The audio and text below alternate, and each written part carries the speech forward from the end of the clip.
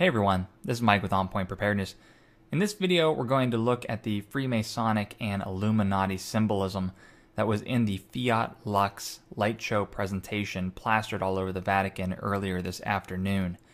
If you had not already seen that video, I'll put a link in the YouTube description so you can watch it.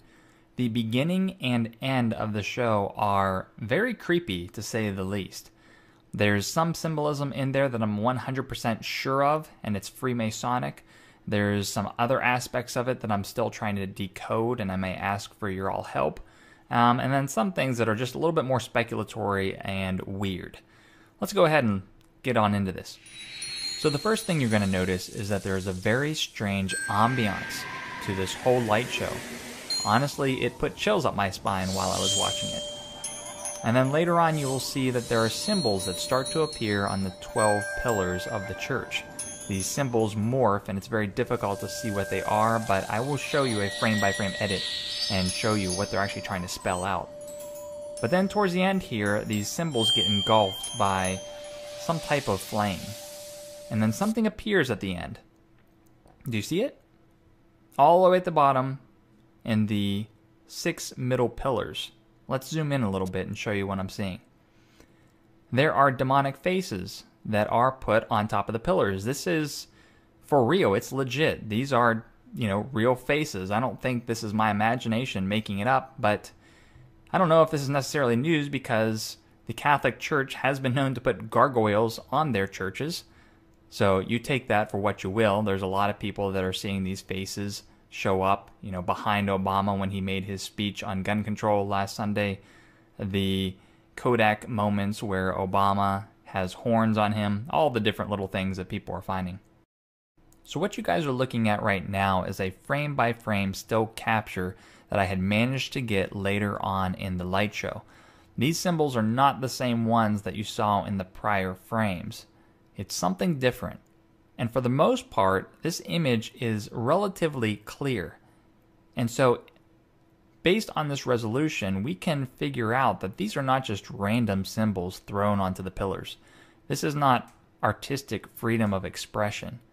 And the reason I say that is because I looked through a multitude of resources with regards to ancient alphabets, ancient numerology, and occult symbolism, and these symbols marry up exactly to the South Arabian consonantal alphabet.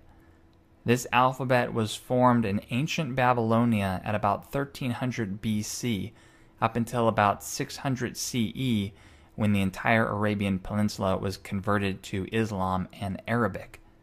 So they are using some type of ancient alphabet on these pillars. What they're trying to tell us, I do not know, and this is something you guys can possibly help me out with. I'll put the resources that I have found so far but I've only been able to decode three symbols. And you can see right in the middle there is a symbol that is unique unto itself and then it is mirrored on other sides for their respective symbols. It must be mentioned that these symbols are all rotated counterclockwise by 90 degrees. So, really not sure what's all going on here, but again, something calculated. Now in this short frame, you're going to see some very blatant and obvious symbolism with regards to sun worship. There's lots of sun worship in the Vatican and in the Catholic Church, and you can see it demonstrated here. This same symbolism is used towards the end of the light show, and it's even more powerful than this one. I'm going to get to that in a little bit. But to even top this one out, wait till you see the antithesis of the sun, the moon. This shows up right after the sun crests over the horizon. You see the moon cresting over the horizon, and the conspiracy theorists are going to love this one because it shows it accompanied by an asteroid, meteor, or comet shower of some kind.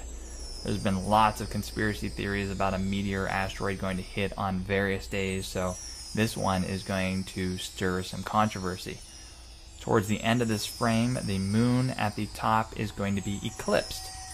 So I'm not sure what that means, but look to the stars and the sky for signs. And so I'm not really sure what they're trying to point to here with the lunar eclipse. After this frame, there's this symbolism of water, and it runs down St. Peter's Church. There's many references to water, both in Christianity and in the occult. In Christianity, we familiarize ourselves with water via baptism. But in the occult, there's many references to water as well. It's the access or doorway to parallel dimensions. We think about the movie Stargate and the water-like portal. We think about the movie Constantine with Keanu Reeves. The only way you got to hell was being dunked through water with some certain prayers. There's also many pieces of Freemasonic and Satanic architecture that use water. So the One World Trade Center with the cube full of water and other similar pieces of architecture. Now this is going to be more of a speculatory uh, translation of symbols. You can see these candles all starting to form around the church. It has some very eerie ambience to it. And it sort of looks like a Freemasonic G at first, up until the candles really take form. And you can see there's some 90 degree bends with these candles, and so I believe that their placement is strategic. So I went ahead and found the original image on a photographer's website, and I just drew straight lines, transparent straight lines across these candles. And I found that it pretty much marries a pentagram like image. Not exactly, but pretty similar. And it marries up with this unicursal hexagram. This is a free handed continuous hexagram that is obviously used in pagan and satanic rituals. So I'm not sure if that was what it was intended, but the images do align fairly well. So at the end of this video, you see some very powerful colors here. You see a blue building and a red building. It must be noted that the red building in the background is not lit up for the entire hour of the light show except for the very end. So this is very calculated and very meaningful. I alluded to this in my last video. This is representative of the blue and red Freemasonic Satanic lodges. The red and blue color manifests itself all throughout occult symbolism and advertisement. I'll talk a little bit about that later. But you can see again, as I mentioned in the beginning of this video, there is the sun worship. And you can see the sun cresting over the horizon on St. Peter's Basilica until it is fully in the sky. And then, for some odd reason, they have this black plague encasing the church, or some type of shadow figures. It's it's very disturbing. It's very eerie. Not really sure what it means. But the entire church goes black, and then afterwards you see the moon rising again with that asteroid, meteor, or comet-like shower.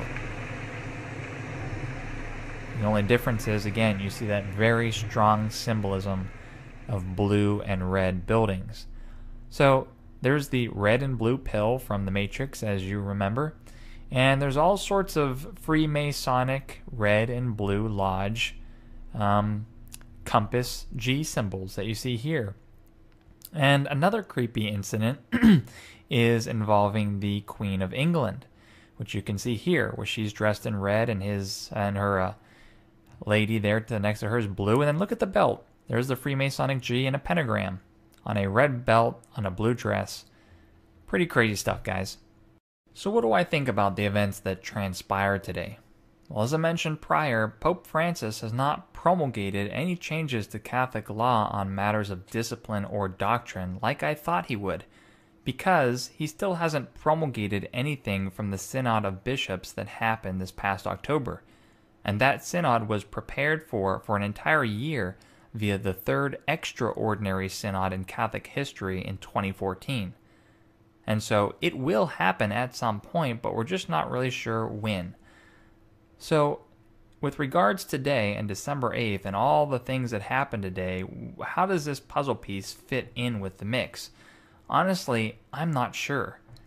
Pope Francis certainly teased us a lot with his homily, spouting off more mercy and compassion and acceptance for all, like he has done throughout his papacy. As I mentioned, this whole light show and this logo for Mercy Like the Father is just laden with all sorts of occult, Luciferian, satanic symbolism. Even the name of Fiat Lux means let there be light. Again, this is the UN Year of Light 2015 or 5776 on the Hebrew calendar. Something really big is at play. It marries up with the COP 21, which ends on December 11th and 12th. That is the planetary alignment that I have been speaking of, which Dietranium Press said marries up with a crop circle. We just have to wait. I'm really not sure what's all going to go down, if anything at all. But it's still a very high watch period. Hope you enjoyed this video, guys. Appreciate the help if you find out anything new. See you guys later.